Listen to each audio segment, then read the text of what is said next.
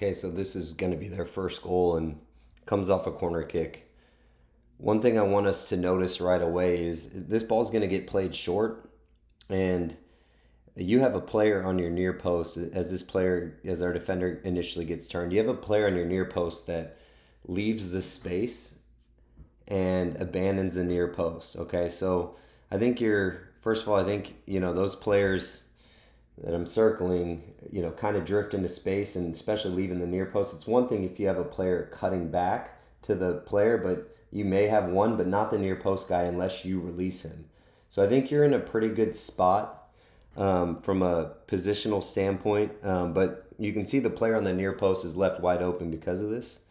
Um, I think positionally you're in a good spot here. Um, from where the ball is, going to have to cut it back. You could be a, a shade more central, but um, certainly you're in a good spot. As we let this go, the ball is going to kind of be deflected.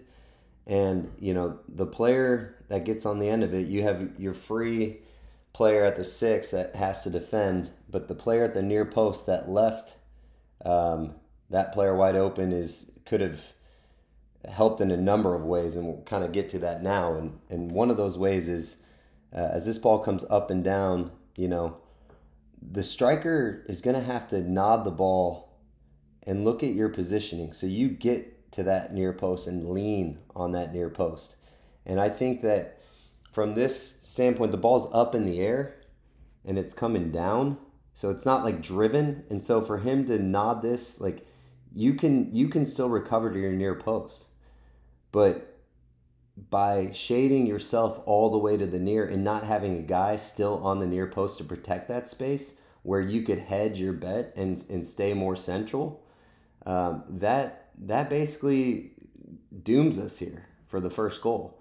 And you can see, you know, your free player having to come to the wrong side, and now this ball is going to get knotted where probably you just pick the ball up uh, without having to dive. Because look at look how close you are and and if I don't think you release the near post player to go drift into no man's land, and so if you don't release this near near post player, then why is he leaving? And why are you getting all the even if you don't have a near post guy there, you don't need to be leaning with your body weight on the near post. You can still recover. Look how high the ball comes up.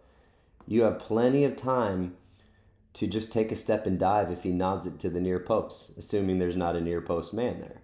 But look at your body shape. You get you get kind of buried behind, uh, you know, the player heading the ball and our defender, um, and and that basically allows that one inch of space that he needs to nod this by you. Right there, game of inches, right? And just that nuance of a player losing discipline costs us a goal. All right, so this is going to be their second goal. It's going to come off something pretty basic. I mean, we have um, all of our players behind the ball. It's a simple free kick. Um, one of our defenders is going to get dragged out of our back line, and and only to open up space for a run in behind. That's the only reason. So you can see this player just darting behind this player who's been dangerous uh, all game long. They're small little 17, that left footed player um, usually plays on the attacking front line, drops off drags our, one of our backs out and, and allows you know the run and the camera gives a terrible angle but that run to get by. So this player gets dragged out. If we if they play in defeat here and he just goes with them and and his back's to goal and we're defending we're fine. But there's no reason to sprint out here and and look at our shape you know because of that. Uh, this is just it's it's a head scratcher all the way around from from a team standpoint. But um, but you know, you you see one of your players leave, we got to be communicating for him not to go because this is what more dangerous, the space in behind. So now you know I don't know what our recovery here is. Um, certainly, this is a problem. Uh, we should be tucked in here, but um, this should never even gotten behind. But okay. Um, so now the player's going to get by. This is not cringeworthy. Um, the player's going to get by, and we have to understand in in these circumstances, we have to understand what a striker wants to do. Okay, um, the picture is simple. All right. This player is wide open centrally, and this player on the ball is at a bad shooting angle. And it, it goes from bad, um, you know, to worse by a step before he plays the ball. So I think we need to be set in a position where we can handle both. All right. I think we look at that last little jump to our near post. Okay. He doesn't want to shoot this ball. This is the ball he wants to play the whole time. That's it. Now, I'm not saying we're going to be able to make the save here, but we always have to be thinking no matter what the team does, how can we as goalkeepers improve?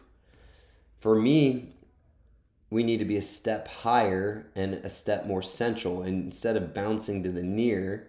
And I understand not wanting to give up the near post here, but we're always leaning. Even now, you're leaning, and then when the ball is struck, we're leaning. Boom. Okay? So if we just find our balance point and stay somewhat attached to the near, but ultimately knowing the situation and the angle, all right, we don't maybe jump back. All right. It's it's nitpicky. I mean, this is a bad team goal all the way around. But we always need to be thinking, like I said, what can we as goalkeepers do to eliminate these types of actions? All right, so this is going to be their third goal. Um, we're going to turn the ball over here, and I'll just kind of let it play. But I want you to notice, keep in keep in mind our, our so our back line here, and then our midfielders. Just watch our midfielders, watch our back line as this play develops. So I'll pause it on a new picture. The ball is going to be played negative Okay, we have our back three. Um, we have a we have a midfielder holding. We have two midfielders, one applying pressure. Okay, our wide mid, okay, is gonna go press the ball. Well, we'll just watch this unfold. Okay, so ball's gonna get played wide. Now we have our back line, our midfielder drifting. This midfielder going to press uh, this player. No idea why. Um, this player left wide open.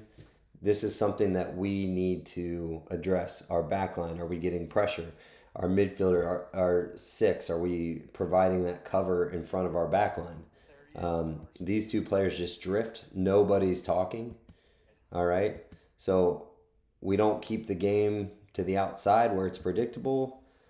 And then this window is going to open up. No idea what's going on here. But this starts at the back. This starts with communication, understanding that we need somebody protecting our back line here. All right. It's too late when we do recognize it. Now we're in trouble, okay? So what what needs to happen is we need to communicate, drop in, leave, leave the guy wide. If there's a guy beyond our last defender here, doesn't matter. This is the most dangerous space. Okay, we should be converging here. We're not worried about this guy. This guy's not going to score goals. This guy is. We know he's left footed. Okay, so he gains that little bit of space. I think you you read it decently well and just get a fingertip to it and in. But it's the it's the lead up from what happens in the midfield. All it takes is communication um, and understanding and not getting caught ball watching, right? We're just watching what's happening on the ball instead of doing two things at once organizing, making sure our starting spots are good, but making sure our players are balanced. Okay. Same thing. When this picture happens, our immediate look has to be this player in, in, let the ball go wide. All right. We're protecting the goal, not wide of the goal. Too easy if you get maybe like that pivot step forward a little bit, you know, just from a goalkeeper nitpicky standpoint, maybe you get a little bit more. See how long it takes you to transfer that weight. I think you know it's coming. You know left foot he's probably gonna get that ounce and, and bend it, but see how big that lead step is, and then it takes a long time to transfer weight. That's really nitpicky, Colin, but um, just you know, what can we do to stop it? Okay, one one trend that I'm starting to see, you know, as we play three at the back. Um, you know, and and uh, you know, one thing we need to understand is the angles of our quote unquote wide, you know, our our wide uh, defender here. Okay, so this this has been happening specifically to Riyad throughout this game. Um, but it's once again it starts with our communication. So we have a player um, playing inside of our of our two you know backs here and in into a more central channel, which is the angle that we need to take. So we need to communicate with with Riyad here to uh, stay inside and force the game outside because I, this happens quite frequently as I watch more and more film. But you can see like he, he's only looking at the ball, and this player this player's marking a player uh, wider. You can see checking his shoulder. Um, this we should be here in this space denying anything centrally okay and that starts with our communication um, we're not defending anything here you know? And if we're playing with three at the back this is a huge gap to give up. You know we've got to defend the central part of the field. So this is just too easy. We're late. You know, and then the ball's going to get played in. On this entry. You know, we're set. Hand shape to receive this. I mean, you do well to get your body there, but if we turn our hands over, we can hold this. Um, to your credit, though, you get up quick and, you know, you do well here on the second ball as well. But, you know, understanding I think you end up with the ball in your hands here too after a little bit. Just let it play off a flick, yeah. So you're just gonna end up catching. But understanding, you know, how to how to leverage our defenders in in these moments where like we just need to look up. What are we trying to defend?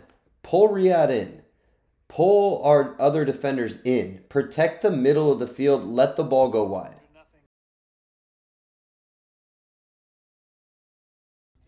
Okay, so this is going to be sort of a, a breakaway from an angle. Um, we've been working on this and training quite a bit with some of our youngsters, so this is a good clip to take a look at and and sort of go through the process. But ball's going to be played down the line and then uh, immediately cut back in.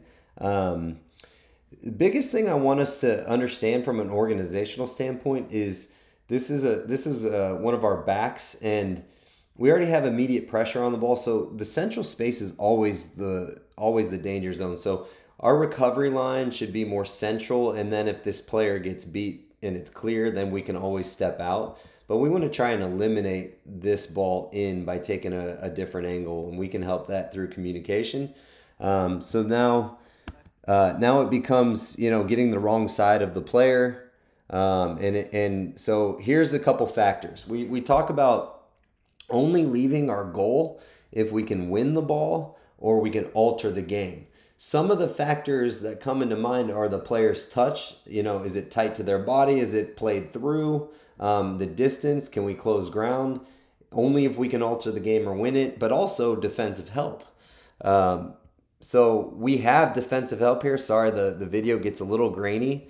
Um, so once again, you know, this is a situation from a very poor angle where the only reason to the the consequence of leaving in this situation is a cutback ball that we can't recover to.